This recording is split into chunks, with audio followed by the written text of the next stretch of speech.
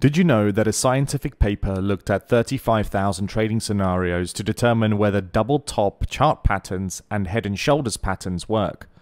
It was an epic collaboration between data scientists from three universities. It turns out that you can trade these patterns, but not in a vacuum.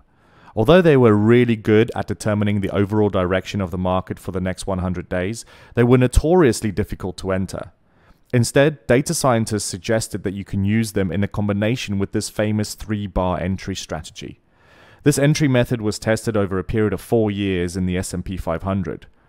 Kaganob and Laurent from the University of Pittsburgh published their findings in a journal called Applied Mathematical Finance. Here's what they said.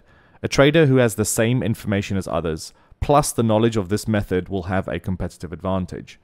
On a yearly basis, each unit of capital will be compounded into 202 to 259% of the initial investment.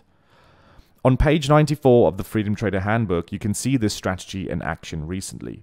First, a double top is identified. Then, the three bar formation here determined the entry. Even more recently, this method predicted the top of Zoom. Inside the book on page 128, you can see a classic double top and head and shoulders determine the most likely direction. Then, a simple three bar entry pattern formed. You can see what's happened since.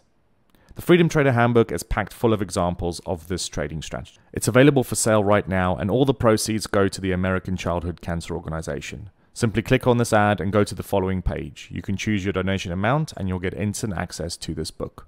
Enjoy.